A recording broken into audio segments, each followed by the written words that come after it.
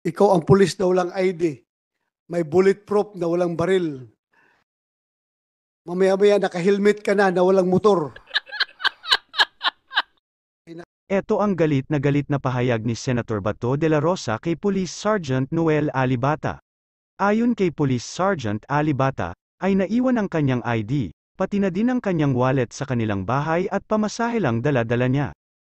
Dahil sa naturang sagot ni Police Sergeant Alibata, ay lalong nanggigil sa galit si Senator Bato de la Rosa. Panuurin natin ang kaganapan sa pagdinig sa Senado. Yung wallet Ah, ko. baka. Baka po. Nasa bahay po. Nasa bahay. Will you be definite with your answers? Kanina ka pa eh. Ha? Gusto mo kaming ah, papaniwalain sa iyong ah, mental ah, state of mind na kunyari wala kang ah, wala ka sa ta- tamang pag-iisip. Kilala mo si Voltaire Corsino? Yes po. Sino siya? Um, parang kasin ko po. Parang kasin. Sorry po. Ay, Kasin ko po. Ah, sorry po. Ah, parang kasin ko po. kasin ko po. Kasin ko. Kasin ko po. Sorry po. Sorry po. First cousin, second cousin, third cousin. Parang Parang kasin nga daw. Kan kasi po ng yung kwan niya, yung mama niya, ah, kapatid ng papa ko po. O, di pinsan buo. Opo. Bakit par bakit parang nagduda ka pa? Um, Na hindi po, parang hindi po. parang Hindi pinsan mo. po. Um, Ay, bakit- Silvi, sorry po, ganun lang po talaga ako po. Sorry po. Sorry. Okay. Naalala mo na siya nagdala sa ospital. Hindi ko po alam. Yan, yan po ang problema kaya hindi ko po yan alam. Lahat-lahat lang nangyari sa akin, hindi ko po talaga alam. Oh, So, nasa si. Mal- Alam mo kung nasa si Voltaire ngayon. Um, kasi hindi na po ako umuwi doon eh. Matagal na po akong hindi umuwi ng Dumaguete po kasi taga-Sagay po ako eh. Taga-Occidental po ako. Okay. Ah, siguro si Dr. Lyosa, pagka na na-produce natin si Vol- Voltaire Corsino dyan, are you uh, are you able to identify him, Dr. Lyosa? Hindi po sir, because I am not the admitting physician uh, of this patient. And I'm not there when he signed the consent form for the surgery. Ah, so you have never seen that that Voltaire? Yes, sir. Oh, sino nakakita? Yung ano, yung receptionist sa hospital? Uh, we can always ask the nursing service office uh, sino nag-duty yun no, at that time. Well, anyway, eh, siguro, Mr. Chair, isufin lang natin si Voltaire. Yes, Kung bakit siya ah, nagbigay ng fictitious na pangalan? yes, Your Honor. We will do that. Kasi, if I may, ano, Kum- Kumsek? Kumsek? ito ba, ah, M- Mr. Chair, Mr. Chair, Yes, go ahead. pwede ba natin identify kay Captain, ah, kay Sargento Alibata kung ito ba itong si Voltaire? Yan. Identify mo. May picture. Opo, opo, opo. Yan po. Oh, siya daw. Siya. Siya daw. Positive. Positive, ha? Siya daw. Pinsan mo, ha? Uh, Your Honor. Galing mo. Saan mo nakuha yung picture ni Voltaire? Ha? Galing sa langit, Mr. Chair. Kagaya ng kasband. Kagaya ng sinabi ni Alabata. Galing sa langit. Hmm. Thank you, Anyway, thank you. uh. Pasupin na lang natin yan, ah, Mr. Chair. Kung he, the, uh, si Alabata positively identified already his uh, first cousin by the name Yes, of. Walter Corsino. Yes, uh, Kumsek, you're directed to invite uh, one Mr. Voltaire Corsino. I mean, whereabouts? The next hearing. History. Thank you. Balikan ko si Sawan, Chief of Police.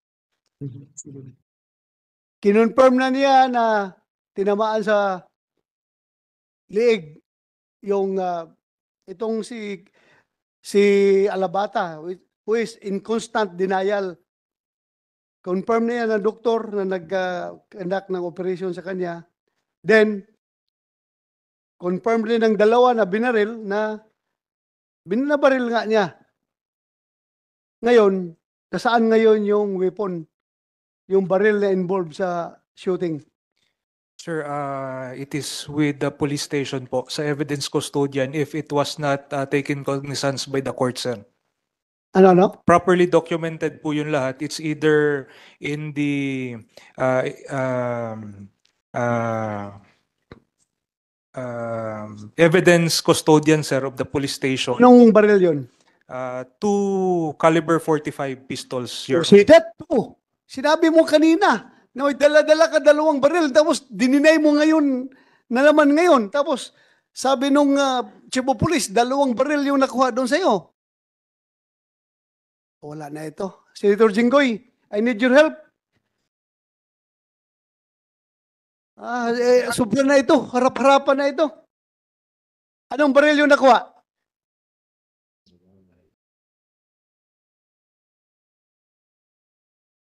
Your Honor, one caliber 45 pistol Colt 45 marking SN 476341. Black magazine loaded with 8 bullets of caliber 45. One caliber 45 pistol with number serial no serial number with black magazine loaded with one bullet of caliber 45. Para kang si Django. Dalawang 45, dala-dala. Tapos, nakuma lang dahil pinukpok nung mga standby. Ah, anong klaseng pulis ka? Nakakahiya ka. May dala-dala ka dalawang baril, tapos nabugbog ka ng mga sibilyan. Ala, mahinang klase ka. Tapos ngayon, didinay-dinay mo pa. Harap-harapan pag didinay mo. Anong baril yung nagamit mo? Ah, J- Mr. Anthony Ong, nung na- naagaw mo sa kanya, na pinutok mo sa ulo niya, Baril niya po, sir. Yung Ha? 45. Baril po niya, yung 45. yung 45. Yes, sir. Sinabi kahapon na bata ka daw ni Colonel Tolentino. Hindi ka tao ni Colonel Tolentino? Hindi po. Nag- nagkasama lang po kami sa Mandawi po, pero hindi ko po siya nang palang magsasama, hindi po. Hindi po kayong bata na bata po talaga na magsama kung saan ba, hindi po. At ina-allege nung ating mga victim na ikaw, Colonel Tolentino, ay bata ni Congressman Teves. Can you comment on that? Ah, hindi, hindi po totoo, sir. Ah, may I read my uh, piece, sir? This is Mahaba ah, masyado yan? Yes, sir. o Mga ma- three minutes lang, sir. Sige nga, ah, pakinggan natin. Yung, your name was uh, mentioned twice during the hearing. One, itong uh, kaso na ito, uh, victimizing uh, Jason Ong and uh, Mr. Tinguha. Na yung gunman daw ay bata mo at ikaw ay bata ni Congressman Arnie Teves. Ngayon, pangalawa, yung uh, isang land grabbing incident na sinasabi na Uh, siya lang, i-recall ko pa yung records kanina, kahapon. Sa dami, nag-overload na yung utak ko. Sir, ah, alam ko po yun lahat, sir. Kasi Alam mo, narinig ka, nag-monitor ka sa hearing kahapon? ah, hindi lahat, sir. But ah, these issues were thrown against us ah, maybe more than two years ago. okay, so, sige. alam ko na yun, sir. So you have the floor, please. Good afternoon, Mr. Chair and your honors, and to everyone. I am Police Colonel Casaleo Tolentino, and I am grateful of this opportunity to be heard since the allegations against me and my wife have been repeatedly thrown against us for more than two years already, even if those are devoid of truth and reasons. Before I proceed in answering the allegations, let me state for the record that, that I've never been an ally nor an associate of Congressman Arnie Tebes. The speculations only started when my wife left the team of Mayor Digamo. In fact, when I was Chief of Police of Dumaguete City, I was the one, in 20- 2012, sir, I was the one who led the team to arrest the gunman of uh, the murder case of uh, Miss Dumaguete. At na-mention, Miss, Miss Dumaguete? yes, sir, Sino yon? yung si Neri, sir. O, sino, sinong suspect nun? Hindi ko na malala, sir. Basta what I've, uh, what I can remember, sir, doon namin niya nahuli sa Bayawan. Ah, parang si alias Bungi yun, sir. Pero hindi nyo nakuha ang mastermind. Hindi, sir. Bakit? Ah, may warrant lang, sir, yung gunman. So, no no evidence leading to the mastermind yet, sir. But there were speculations kung sino yung mastermind. Speculations of what? kung sino yung mastermind based din doon sa mga accounts ng relative sir ah, ng biktima. So alam mo na yan noon pa, yung Yes, sir. speculation na yan. What was that speculation about? Na it has something to do with the TBSS sir yung ano yung With? with the TBSS.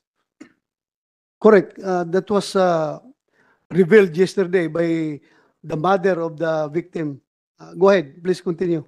So in fact, sir, na-mention nga ito nung ina ah, the other day. Due to my closeness to Governor Digamo, I was even an instrument. Ah, sorry, sir. Uh, Dumaritso ako. Ang pamilya ko po ay malapit kina Governor Digamo. Si Governor Digamo po ang nagpatakbo ng ol- ah, eldest daughter ko for SK Federation President sa province against a supported candidate ni Kong Arnie Tebes noong 2018. Si Gobernador Digamo din po at Mayor Janis ang kumuha ng misis ko na sumama sa team nila at nanalong number one councilor ng Pamplona noong 2019 elections kahit first time niya. Governor Digamo even wanted my wife to run for PCL president in the province, but my wife only settled running for vice president since she has no ambitions of holding higher office or res- responsibilities being a first-timer councilor. Due to my closeness to Governor Digamo, I was even an instrument kung bakit na-consider yung successor ni Colonel Chempo